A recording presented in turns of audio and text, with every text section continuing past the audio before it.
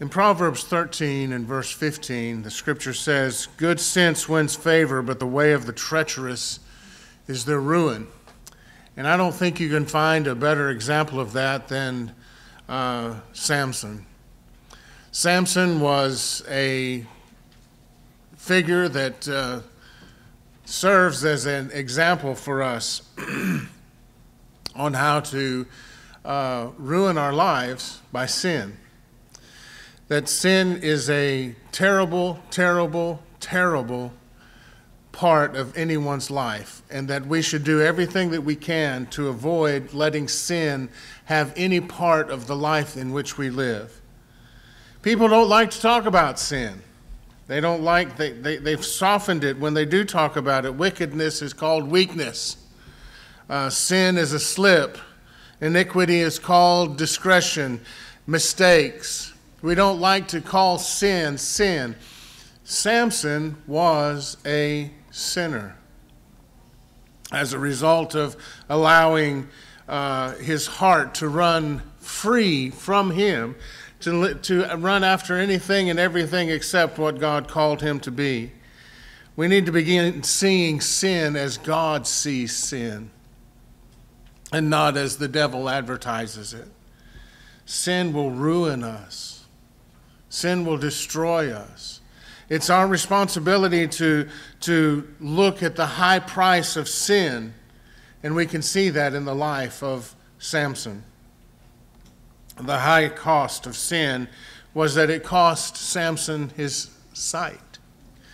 In chapter 20, in chapter 16 and verse 21, as, we was, as was read a while ago, the Philistines seized him, gouged out his eyes, and brought down brought him down to Gaza and bound him with bronze shackles, and there he ground, the, ground at the mill in the prison. Did you know that the devil still blinds people today? If you would, turn in your Bibles in the New Testament to 2 Corinthians chapter 4, verses 3 and 4. The devil will do the same thing, just like in the Garden of Eden when when he said, You surely shall not die. Yes, you will die. In the day that you eat of that, that tree of the knowledge of good and evil, in the day that you eat of that, then you shall die. And that's exactly what happened to Adam and Eve because of their wickedness. But notice in 2 Corinthians, and even if our gospel is veiled, it is veiled to those who are perishing. In their case, the God of the world has blinded their minds of unbelievers to keep them from seeing the light of the gospel of the, of the glory of Christ, who is the image of God. There comes a time when, when the devil will blind us to the consequence of sin that we will not see the true nature of sin and how that it will ruin us and that how sin will keep us from going to heaven, that sin will ruin us to the nth degree. Some are blinded by Satan today. Some people call good things bad and bad things good. In Isaiah chapter 5 and verse 20, woe to those who do that who call the good evil and evil good, who put darkness for light and light for darkness, and who put bitter for sweet and sweet for bitter. Isaiah chapter 5 and verse 20. Sin can blind one to its very nature. Sin sometimes people will think is a good thing. It, it, can, it can ruin us by making us think that what we're doing is righteous and good and, and cause us to think that, that uh, good things that we do are bad. In this country, since 1973, we've killed millions and millions and millions of babies in the name of choice. But the babies didn't have any choice. It's sad that, that now it, abortion is nothing more than a contraception, another choice to be made.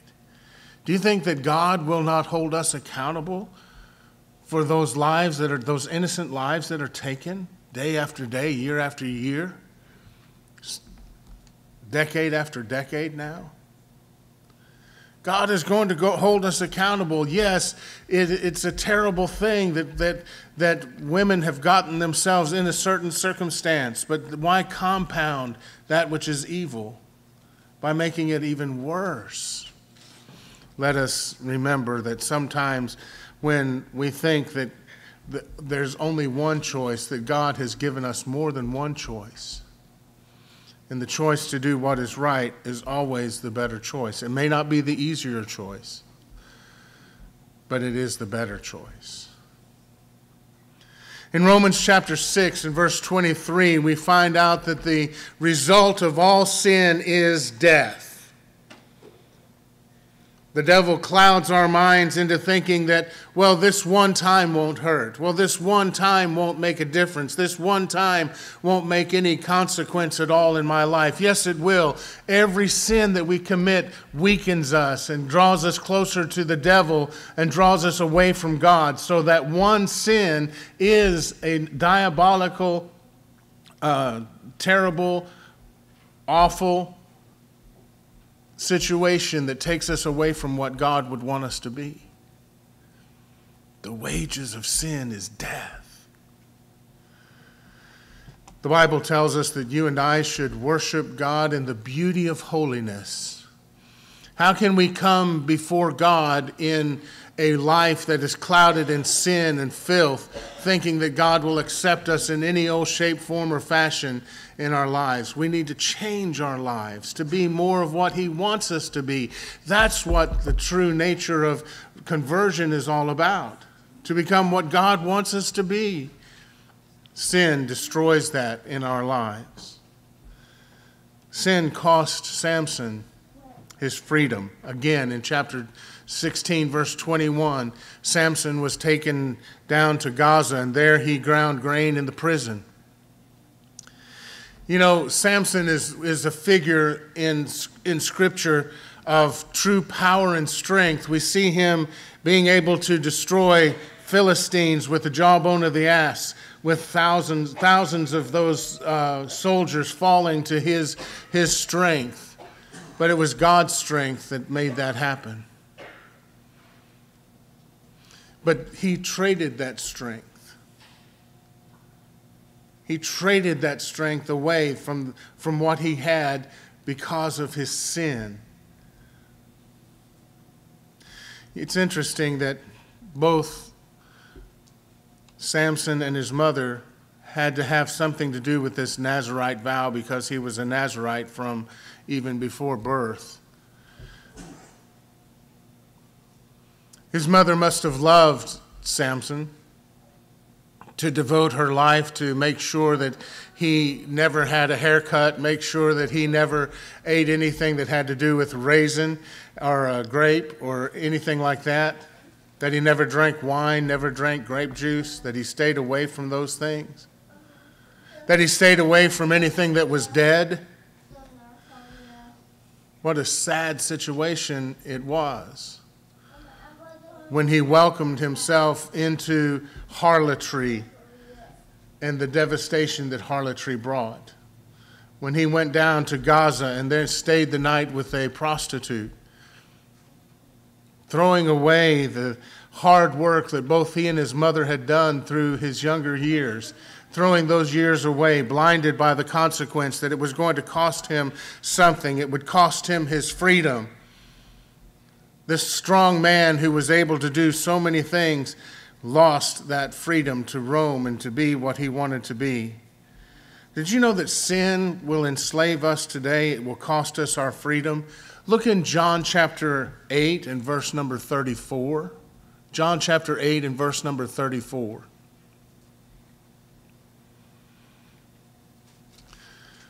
Listening for pages to turn. John chapter 8 and verse 34 Jesus answered them, Truly, truly, I say to you, everyone who practices sin is a, what's it say? Slave to sin.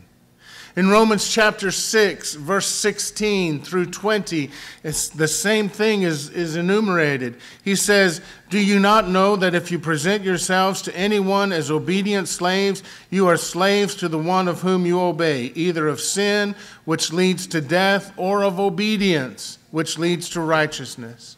But thanks be to God that you were once slaves to sin have become obedient from the heart to the standard of teaching to which you were committed, and having been set free from sin, you have become slaves of righteousness. I'm speaking in human terms because of the natural limitations. For just as you once presented your members as slaves to impurity and to lawlessness, leading to more lawlessness. So now you present your members as slaves to righteousness, leading to sanctification. For when you were slaves to sin, you were free in regard to righteousness. The opposite was true. When they were slaves to sin, they were slaves to unrighteousness. They were free from doing what was right. Now they are free from doing what is wrong. When we are in Christ, we are free. We don't practice any of those things anymore. Sin can enslave Wish my friend James was here today. He could tell us just how hard it is to kick a habit that drugs can lead in their life. Praise God, he got the strength, he got the courage, he got the stamina to do that, but he will tell you today he'd wished he'd never done that. How many of us have participated in a sin and found that it had a stronger draw to us than, than anything else in our lives. Many of us are slaves to things that are so horrid and terrible that we don't want to talk about it, but we need to talk about it and we need to get it out of our lives. We need to be careful about sin because sin will blind us, sin will enslave us, sin will ensnare us. Many times, sin promises freedom. Oh, look at all the fun you can have, but really, what it's bringing is death and bondage to that sin. So, we must be careful to run free in Christ instead of running free in sin. They promise them freedom but they themselves are slaves of corruption, for whatever overcomes a person, to that he is enslaved. Sin will overtake you and hold on to you longer than you ever wanted to be held, where you cannot get out. Sin is a terrible thing. But also in Samson's case, he finds out that being involved in sin now cost him his strength. Look at verse 19.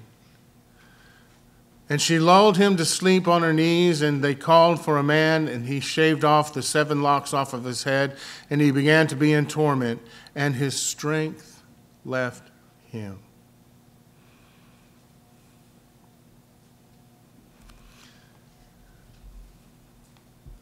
Have you ever realized the moment that you fell from the favor of God. And how terrifying and horrifying that is when you realize, I never thought I would have done that. I never thought I would have said that. I never thought I would have gone there. I never thought I would have done this particular thing. And then realize that you want to do it again and again and again. That's the way sin works.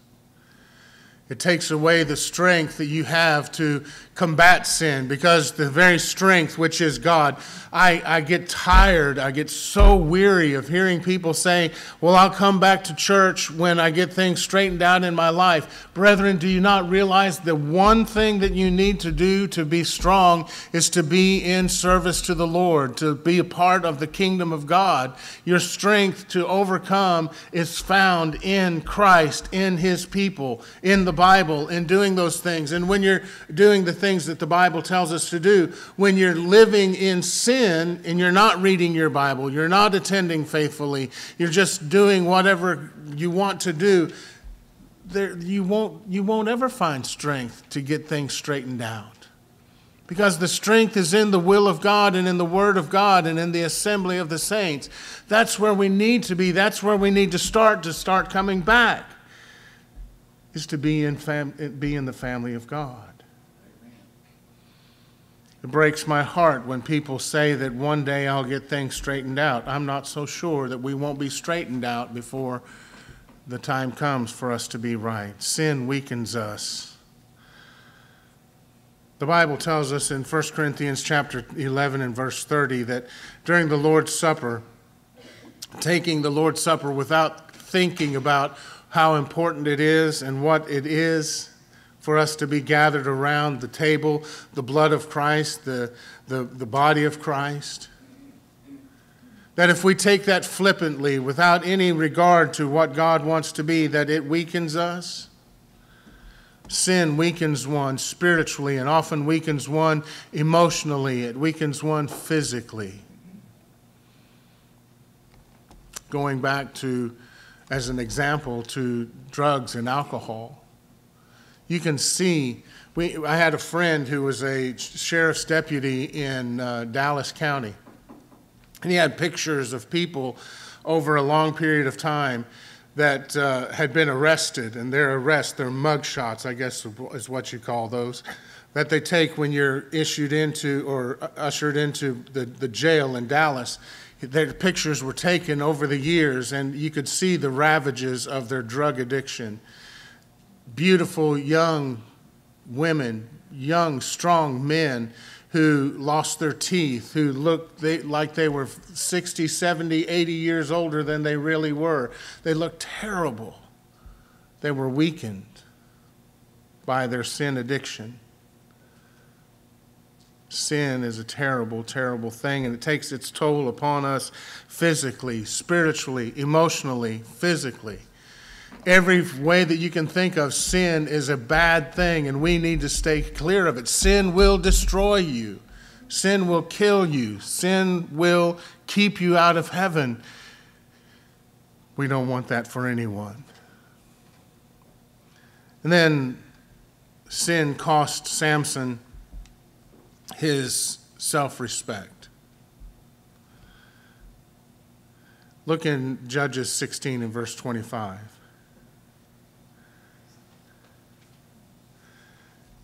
And when their hearts were merry, they had a big party. And when their hearts were merry, they said, Call Samson that he may entertain us.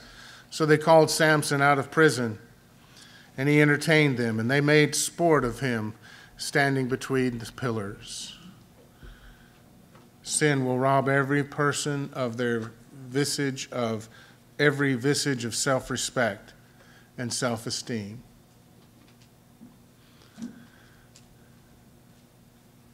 Shame is a tool that God uses to wake us up.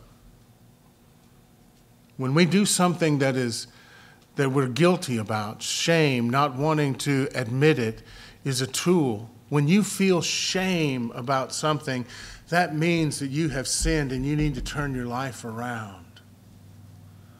It's a good tool as long as we use it for the purpose to drive us back to God, not to drive us away saying, I can't do anything about my sin. Yes, you can. You can come home to God.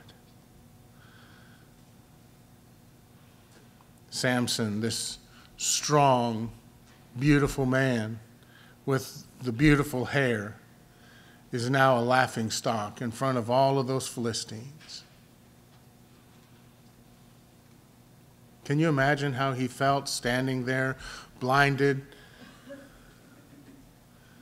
having everyone mock him? Look how strong you were. Now look at where you are. That's exactly what sin does to us. But oftentimes, it's ourselves looking ourselves in the mirror saying, Look at what you once were. Now look at what you've become. And today is the day to change that.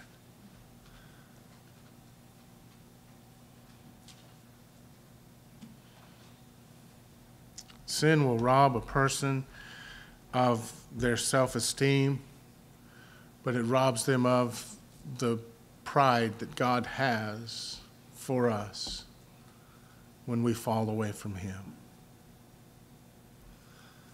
And now, little children, abide in Him so that when he appears, we may have confidence and not shrink from him in shame at his coming. You know, when Jesus comes back, there's going to be a group of people that are going to cry for the rocks and the mountains to fall in on top of them to cover them up so that they don't have to face their Lord and Savior, Jesus Christ. Because of the sin in their lives, because they didn't take care of the most important thing, they didn't take care of their soul. And so now, when Jesus comes back, they, they will be ashamed and not want to face him. But what a wonderful thing it would be if we have taken care of every sin in our life. We look forward to the coming again of Jesus Christ. I'll tell you the difference. And I've used this illustration before, but it's a, it's a good one. that is, my granny used to end almost every prayer that she prayed with, and Lord, come quickly. That used to scare me to death. because I was afraid that he would come quickly and I wasn't ready. She was ready. Her life was in order, her sins had been taken care of. She was ready to meet the Lord. I, in my foolishness, had not straightened my life out to where it should be. And I didn't want to think about that final day. I didn't want to think about the fact that God was going to judge me according to His scripture, according to the, the life that Jesus lived, and how closely my life looked to His. So I was ashamed and didn't want the Lord to know how bad I had become. God intends better for us. God wants to be able to see us in the pristine beauty of holiness.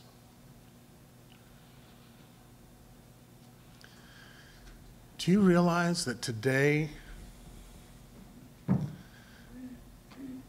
we can be in absolute harmony with Christ Himself?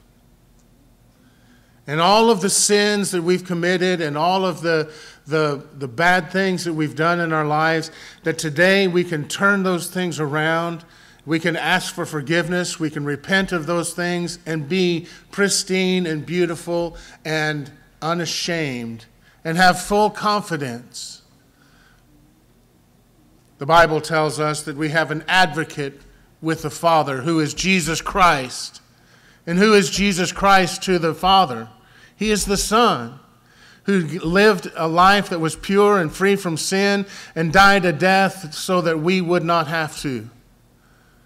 What a beautiful, beautiful thing Jesus has done for us so you and I would not have to.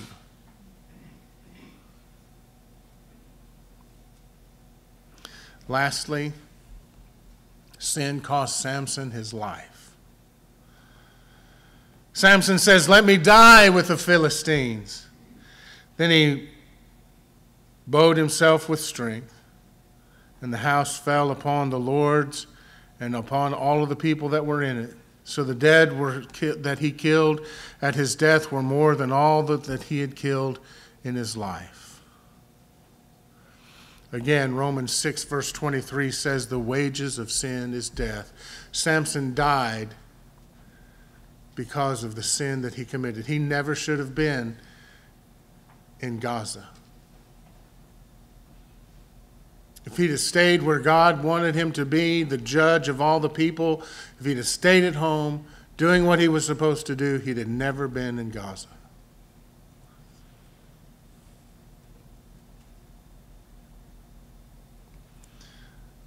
You might want to underscore James chapter 1 and verse 15 in your Bible. Because it tells us that the end of sin is death. Lust brings about sin. It's, a, it's, it's what we, we see. We say we want that, we desire that. And, and then lust brings forth that desire, that desire to, to have it. And then it turns to sin when we act upon it. And sin, when it's fully formed, when it's fully brought fruit, it brings forth death. Friends, we don't want sin in our lives. The end of sin is death. Revelation 21 and verse 8, he goes through and he lists all of those sins of adultery, idolatry, lying, stealing. And he says, against all of those would be the second death. They would find themselves in the lake of fire, which is the second death. We don't want to be apart from God. Death is a separation from God. The thing that scares me about hell is that it's final. There's not going to be a second chance like we have right now. There's not going to be opportunity for grace to cover the multitude of sin. That will be over at judgment. And hell is eternal. Sin takes one farther than he ever wanted to go. It keeps you longer than you ever wanted to stay and costs you more than you ever wanted to pay. The thing about hell is that it is permanent.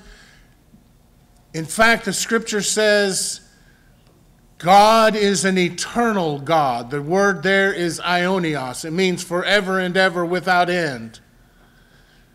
And guess what? Hell is aionios, forever and ever without end. Can you imagine?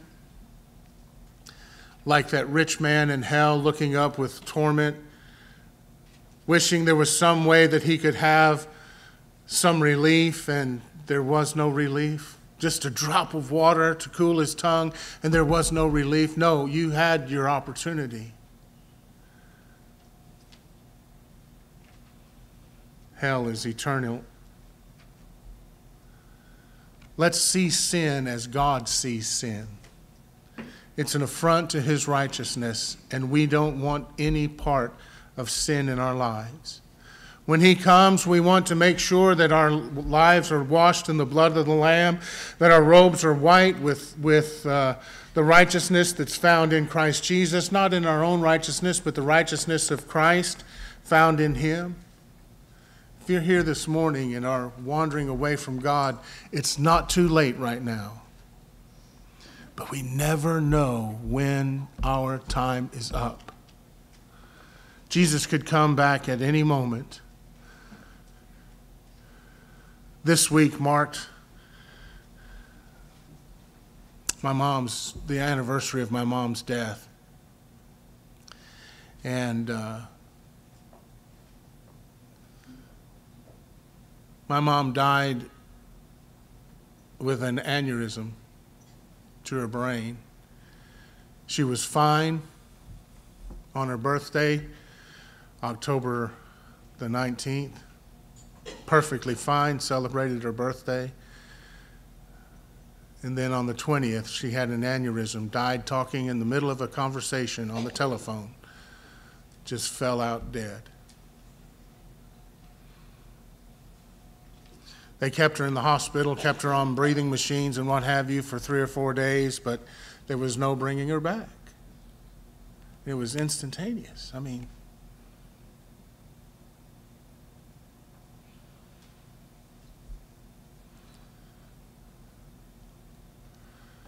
You never know.